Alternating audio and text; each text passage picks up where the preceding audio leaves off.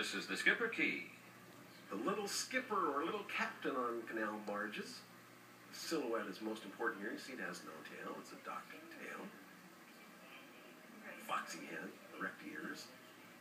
Judging this class is Judith Daniels, assisted by Peter Green of the Kennel Club of Philadelphia.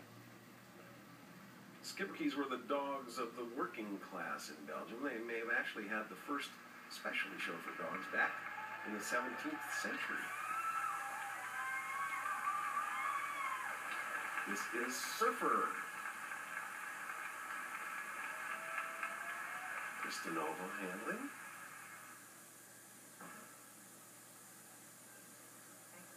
What a great look. And we'll continue with the non-sporting group. The National Dog Show presented by Purina continues.